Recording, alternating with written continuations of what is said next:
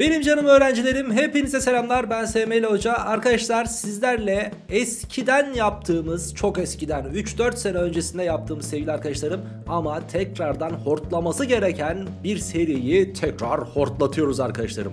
Small, Medium, Large yani SML X large ve XX large sorulardan oluşan her konudan toplamda 5 tane soru çözeceğimiz ve şunun garantisini vereyim sana örnek veriyorum biz türevi 5 tane soruyla tabii ki de halledemeyiz ama türevden oldukça fazlasıyla trigonometriden oldukça fazlasıyla hatta her konudan fazlasıyla sorular göreceğin fazlasıyla videolar göreceğin bir seriye başlıyoruz. Toplamda 5 tane sorudan oluşan ve düzey düzey ayrılmış kolaydan en tepeye en zora kadar çıktığımız sorularla her videoda 5 tane birbirinden güzel soru çözeceğiz ve sen de böylelikle hangi soruya kadar gelip takıldıysan düzeyini de görmüş olacaksın. Ne dedik? Small'dan başlıyoruz. S, M, L, X large ve XX large sorularla noktayı vuruyoruz arkadaşlarım. İlk konumuz bugün sizlerle birlikte limit ve süreklilik. Bütün öğrenciler neredeyse çoğunlukta limit, süreklilik, türev ve integralli olduğu için bu konudan başlıyorum ama AYT matematikte öncelikli olmak üzere tüm konulardan arkadaşlarım, tüm konulardan bu seriyi yapıyoruz. Evet, artık ilk sorumuza başlayabiliriz. Burada çözeceğimiz soruların ücretsiz pdf linki açıklama kısmında mevcut. Tek tıkla şipşak hemen indirebilirsin. İlk sorumuza başlayalım. İlk soru tatlı minnoş güzel bir limit sorusu. Small soru sevgili arkadaşlarım. Rengi de yeşil. Evet ilk sorumuza bakalım. Uygun koşullarda tanımlı fx fonksiyonu verilmiş. Bak karekökün içerisinde x kare artı 2x artı 5 fonksiyonuymuş. Buna göre x'ler m'ye yaklaşırken fx eşittir 2 kök 5 eşitliğini sağlayan m pozitif tam sayısı kaçtır? Yani diyor ki sana limit limit x'ler m'ye yaklaşırken fx'imiz ne burada? Karekök içerisinde x'in karesi artı 2x artı 5 diyor. Hemen karekökü kapattık. Eşittir neye eşitmiş? 2 kök 5'e. Pekala. Şimdi gençler bakın ben burada ne yaparım? m'yi götürürüm yerine yazarım. Daha sonrasında dedim ki bunun cevabı 2 kök 5'miş. Ama bir dakika. Ben işini kolaylaştırayım. Şurada 2 kök 5 var ya o 2 kök 5'in karesi ne yapar? Tabii ki de 20 yapar. O halde burası kök 20'dir kardeşim. Yani içerisini 20'ye eşitleyen m değerini arıyorum. Hemen yazalım. m'nin karesi artı 2m artı 5 eşittir 20 dedim. Buradan m kare artı 2m eksi 15 eşittir 0 dedim. 20'yi sol tarafa attım yani.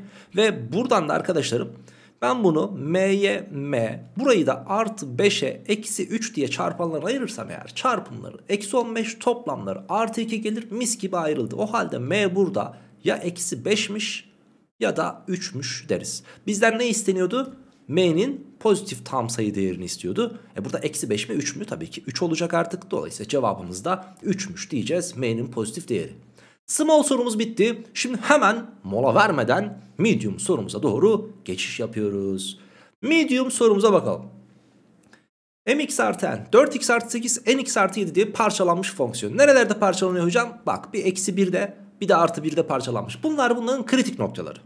Fonksiyonu tüm gerçel sayılarda sürekli olduğuna göre m artı n toplamı soruluyor bana. E tamam şöyle yapabiliriz biz bunu. Ben bu fonksiyonun artık sürekli olduğunu bildiğim için kritik noktalarda da süreklidir derim. Sonuç olarak burası polinom fonksiyon, burası polinom fonksiyon, burası polinom fonksiyon be kardeşim. Polinom fonksiyonları çok seviyorduk. Niye? Her yerde tanımlı, sürekli, limiti var, türevi var, integrallenebiliyor. Mis gibi fonksiyon. E bunlar o zaman bu zaten sürekli polinom olduğu için. Demek ki ben kritik noktalara odaklanacağım. Eksi 1'in sol limitine bakalım. Eksi 1'in sol limiti hop yerine yazdım. Ne gelecek? Eksi m artı n gelecek. Eksi 1'in sağ limitine eşit olmak zorunda. Eksi 1'i burada da. Yani 4x artı 8'e de yerine yazacağım. 4 kere eksi 1 eksi 4. 8 daha 4 yapar. Demek ki eksi m artı n kaçmış? Artı 4'müş. Peki o halde diyorum ki bu fonksiyonun bir diğer kritik noktası 1 olduğundan 1 de de süreklidir. O halde 1'in sol limitine bakalım. Yazdım 1 yerine 12 geldi eşittir diyorum. Birin sağ limitine bakıyorum. Bir yerine yazdım. n2 artı 7'de n artı 7 geldi. Ben buradan n'yi bulurum. 7'ye ne eklersem 12 olur? Tabii ki de 5. Demek ki n 5'miş. 5'i burada yerine yazarsam 5'ten m çıkınca 4 oluyormuş. O zaman m kaçtır? Tabii ki 1'dir. m artı n sorulmuş. O halde m e, 1'di. N de 5'ti. Toplamı ne yapar? 6 yapar. Cevabımız da tertemiz C şıkkı geldi gençler. Şimdi geçelim mi large soruya geçelim. Düzey düzey arttırıyoruz arkadaşlar. Gerçel sayılar kümesinde tanımlı ve sürekli f fonksiyonu. Dikkat ettiysen sorunun zorluk seviyesi artınca okuma şeklim de değişti soruyu. Gerçel sayılar kümesinde tanımlı ve sürekli olan f fonksiyonumuz var. Parçalı tanımlı biçimde tanımlanmış. Buna göre x'ler eksi 3'e giderken fx'in limiti ve x'ler 3'e giderken fx'in limitinin toplamının sonucu kaçtır diye soruluyor. Şimdi şöyle diyelim. Eksi 3 nerede hocam? Eksi 3 yukarıda eksi 2'den daha küçük. Şimdi eksi 3'ü burada yerine yazacağım. Eksi 3 yerine yazarsam 9 eksi 3m gelecek. Doğru mu? Doğru. Yani bununla 3 nerede? E, 3 de burada hocam. 3'ü de burada yerine yazacağım. 3'ün karesi 9. 4 kere 9 36. Eksi 3 ne dedim. Şimdi 9'a 36 ekledim hocam 45 geldi. Burayı da eksi 3 parantezine aldım. Burası da m artı n gelmiş oldu. İşte bizden bu isteniyor. Bu isteniyor da m ile n nasıl bulunacak? Hocam bize şurada çok sihirli bir kelime söylemişti. O sihirli kelime ne biliyor musun? Sürekli. Sürekli ise bu polinom, bu polinom aynı üstteki sorudaki gibi. O halde bunun kritik noktalarında da süreklidir bu fonksiyon. Yani eksi 2'nin sol limiti ile eksi 2'nin sağ limiti birbirine eşit olmak zorunda. Pekala eksi 2'nin sol limiti 9, eksi 2 pardon eksi 2'nin karesi 4. Şurada da yerine yazdım. Eksi 2m geldi. Bu sol limit eşittir diyorum sağ limiti. Eksi 2'yi burada yerine yazacağım. Eksi 2'nin karesi 4. 4 kere 4 16 yaptı.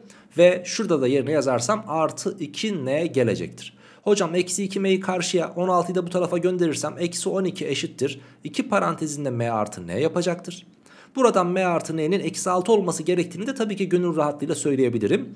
E bizden ne isteniyordu hocam? Bizden işte şu isteniyordu. Ben zaten burada neyi buldum? m artı n'nin eksi 6 olması gerektiğini buldum. Bak m artı n lazımdı bize de zaten. Mis gibi geldi. m artı n eksi 6 ise bak burası 45. Eksi 3 kere eksi 6 da artı 18 yapar. 45'e 18 eklersem 63 gelir. O da bana D şıkkını gösterecektir. O halde doğru cevabımız D şıkkıdır diyebiliriz sevgili arkadaşlar. Evet. Umarım ilk 3 soru kazasız belasız geçmiştir. Ben, ben inanıyorum geçmiştir. Yani eğer limiti falan dinlediysen ben anlattım ya sana dinlediysen sıkıntısız bir şekilde stressiz bir biçimde çözmüşündür. Ama ne kadar iyi olursan ol sakatlanabileceğin Allah korusun da ee, tabi soru çözerken sorularda sakatlanabileceğin sorulara geldik. İki tane şimdi birazcık zorluk seviyesi zor ama çözülemez de değil. Çözülebilir soru, soru çözeceğiz seninle şimdi. M ve ne? Gerçel sayılarmış hocam. X 1'e gidiyormuş. Eksi 3 artı kök içinde mx artı 4 bölü x eksi 1 de n'ye eşitmiş. Aman Allah'ım. Zor sorular böyle karışık görünmek zorunda mı? Tabii ki de değil. İyi dinle şimdi bak. M bölü N oranı kaçtır diye soruluyor. Hocam bir kere ben biri şurada yerine yazınca bunun paydası sıfır oluyor. Ya lan bunun paydası sıfır oluyorsa tanımsız olması gerekmiyor mu? Evet ama tanımsız olmamış. Bak N1 gerçel sayıydı N'ye eşit olmuş. Yani bunun sonucu bir reel sayı çıkmış. Payda sıfırken bunun sonucu nasıl reel sayı çıkabilir? Tanımsız olması gerekiyordu. İşte hocam burada devreye limit giriyor. Şudur hocam. Payda sıfır oluyorsa demek ki üst tarafta sıfır oluyor ki biri yerine yazınca sıfır bölü sıfır belirsizliği geliyor. Ve bu belirsizlik giderilebiliyordu hani hatırladın mı? İşte bundan kaynaklı ben üst tarafta x gördüğüm yere 1 yazarsam sıfıra eşitleyeceğim. Eksi 3 artı karekök içerisinde x gördüğüm yere 1 yazdım. m artı 4 geldi. Eşittir diyorum hocam 0. Buradan karekök içerisindeki m artı 4 eşittir. Eksi 3'ü karşıya attım artı 3 geldi. Her iki tarafın karesini alırsanız m artı 4'ün tabii ki de 9'a. Buradan da m'nin tabii ki de 5'e eşit olması gerektiğini göreceğiz. m 5'miş arkadaşlar. Şimdi devam. m 5 iken benim sorum ne olur? Hocam şurası 5x olmuştu zaten. Artı 4 dedik. Yanında mis gibi bir eksi 3'ümüz var. Paydasında da x eksi 1'imiz var. Paydayı çizdim x eksi 1 dedim. Tamam mı? Şimdi ben burada 0 bölü 0 belirsizliğini gidermek zorundayım. Peki bu şekilde rasyonel olarak verilen ifadelerde bak kesir çizgisini uzattım dikkat ettiysen. Bu şekilde rasyonel olarak verilen ve köklü bir ifade içeren e, ifadelerde, denklemlerde artık her neyse ifadelerde diyelim. E, nasıl buluyorduk biz limiti nasıl e, 0 bölü 0 belirsizliğini yok ediyorduk? Şu şekilde bunun eşleniyle çarpıyorsun burayı. Yani 5x artı 4 bunun kare kökü eksi 3. İşte bununla çarpacağız tamam mı? Bununla çarptığımız yetmiyormuş gibi tabi doğal olarak paydasını da bununla çarpmamız gerekiyor. Niye? İfade değişmesin kardeşim. Niye değişsin ki şimdi durduk yere? Bak buna çarptım buna böldüm. Şu an ifade aynı ifade aslında. Pekala. Şimdi ben üst tarafta iki kare fark olduğunu görüyorum çünkü eşlenik var. Şunun karesi 5x artı 4'tür. Yani a kare eksi b kare yapacağım. Eksi şunun karesi de 9'dur. Yani burası ne geldi? 5x eksi 5 geldi. Yani burası ne geldi? 5 parantezinde x eksi 1 geldi. Bu pay kısmımız. Payda kısmına bakacak olursak da zaten aha da şunun aynısını ben buraya yazacağım yine. Kaçarı yok. Yazmamız lazım. Aha da yazdım. Aynısı olmadı. Niye? Buradaki çizgi kayboldu. Şöyle uzatalım. Bak şimdi hocam. Buradaki x eksi 1 ile buradaki x eksi 1'i sadeleştirirsem artık bu belirsizliğe sebep olan x'in 1'e yaklaşan değeri için bu ifade belirsiz değil tam anlamıyla bir reel sayı eşit olur. Neden? Çünkü x eksi 1'ler gitti. Biri şimdi tekrardan yerine yaz. Üst tarafta 5'imiz var. Alt tarafta da şurası 5 kere 1'den 5. 4 ekledim 9. Karekökü ne yaptı? E, 3 yaptı hocam. Şurası artı bu arada. Eşleniyle çarpacağız dedik. Yarım saattir ben de diyorum ki bu soru gelmeyecek İsmail bu soru gelmeyecek diyorum. Artı arkadaşlar burası tamam mı? Pekala. Burası 3 geldi. 3 daha ne yaptı? 6 yaptı. Bunu da buraya yazdım. Çok güzel. Şimdi demek ki n'de kaçmış? O halde 5 bölü 6'ymış. Bak burası da 5 bölü 6. Yani soru bana diyor ki 5'i diyor 5 bölü 6'ya böl. 5'ler gider 6'yı ters çevirip çarparsan doğru cevabın 6 olması gerektiğini bulabilirsin. Ben çok iyi hatırlıyorum bak. Bu soru işlem açısından biraz karmaşık. Okey tamam sıkıntı yok. Ama bir şey diyeyim mi? Çeldiriciliği anlamında da e, böyle kurnaz bir soru. Sebebi de şu mesela ben bir öğrencime bu soruyu sorduğumda bana şöyle bir cevap vermişti. M'yi buldu tamam mı bak M'yi buldu. Ha dedi hocam 5'e böleceğiz dedi 5'e bir şeyi bölünce dedi 5 gelir bence N'de 1'dir dedi 5'i işaretledi. Yürü lan oradan. Evet gençler devam. Son sorumuz XX large soru. Bir de buna bakalım. Bu XX large dememin sebebi aşırı derecede zorluğu değil. Yorum soruları öğrencilere hep biraz garip gelmiştir ve genelde de öncüllü sorularda bak hem yorum sorusu hem limit süreklilik hem de öncüllü soru. Öncüllü soru hem de bir de kesinlikle diye soruyor. Ki bana göre kesinlikle diyen sorular daha kolay ama neyse o, o mevzulara sonraki videolarımıza gireriz. O başka videonun konusu. Arkadaşlarım bu tarz öncüllü sorularda yorum sorularında ekstra ekstra dikkatli olmanız gerekiyor. Hele bir de kesinlikle diyorsa aksini iddia eden aksini doğrulayan bir cümle bulmamız gerekiyor bizim. Veya bir örnek göstermemiz gerekiyor. Aksine örnek verebiliyorsan şıkları eleyebilirsin. Şimdi diyor ki gerçel sayılarda tanımlı olan f ve g fonksiyonları için x'lerimiz diyor 3'e giderken fx eksi gx'in limiti f3 eksi g3'tür diyor. Hmm. Şimdi burada olduğuna göre demiş 3 tane ifade vermiş. Hangisi ya da hangileri kesinlikle doğrudur diye soruluyor. Hocacım bak Şimdi burada 3'ü direkt yerine yazasın tabii ki geliyor. Yani şöyle f3 eksi g3. E tamam bu da çok doğru zaten f3 eksi g3. Allah Allah değil mi? Güzel bir şey geliyor yani. Mantıklı da. E şimdi o zaman öncüllere buradan bakabilirsin ama ben seni baştan uyarayım. Hocam limitle bir fonksiyonun bir noktadaki limitiyle görüntüsü eşit olmak zorunda falan değil. Sürekli bir fonksiyon demiş mi sana? Yo o zaman değil. Yani demem o ki fx'in 3 noktasındaki limiti örnek veriyorum 5. gx'in 3 noktasındaki limiti de örnek veriyorum 1. 5'ten 1 çıktı 4 kaldı. Burada da f3 dediğimiz şey örnek veriyorum ki 7 tamam mı? g3 dediğimiz şey de 3'e eşit olabilir. Böylelikle 5 eksi 1 de 7 eksi 3'e yani 4 de 4'e eşit olmuş olabilir. Yani bunu bu sağlıyor. Yani şunu diyorum tekrardan limitle görüntü birbirinden farklı olabilir çünkü bana süreklidir diye bir ifade vermemiş. Biz o zaman buna göre düşüneceğiz. Şimdi diyor ki 3'ün sağ tarafındaki limiti. E şimdi 3 noktasında fx'in limiti var. E 5 dedik biz buna bak 5'miş.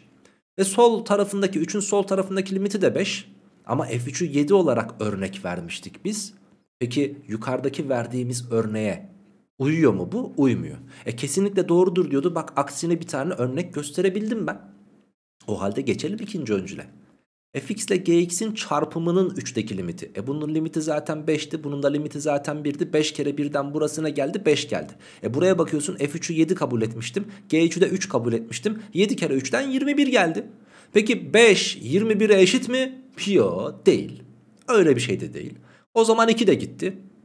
Şimdi devam edelim 3'e bakalım. X'ler 3'e yaklaşırken fx artı gx. E ben bunu 5 kabul etmiştim limitini. Bunun da limitini 1 kabul etmiştim. Toplayınca burasına gelir 6 gelir. Peki f3 artı g3'e ben 7 ile 3 kabul etmiştim ya. 7 artı 3'ten 10 gelmez mi? Peki 6 10'a eşit mi? Hayır. O halde bu da gitti. Yani hangileri kesinlikle doğrumuş? Hiçbiri. Cevabımız da A şıkkı olacak diyebiliriz. Evet. Bu da son sorumuzdu. Dediğim gibi öncüllü sorularda yorum gerektiren sorularda özellikle limit, türev, integralde pür dikkat çözmen gerekiyor soruları. Ve bir şey daha diyeyim mi? Hocam hep böyle genellikle kesinlikle her zaman daima gibi soruları sıkça göreceksin. Tamam.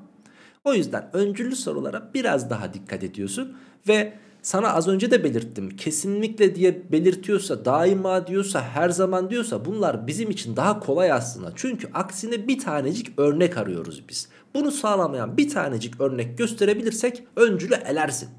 Amma ve lakin örnek veriyorum. Burada hangileri doğrudur derse işte o zaman neyi araman gerekiyor? Net olan bilgiyi araman gerekiyor. Bu daha zor. Aksine örnek vermek, aksine örnek bulmak daha da kolaydır. Evet artık arkadaşlarım videomuzu noktalayabiliriz.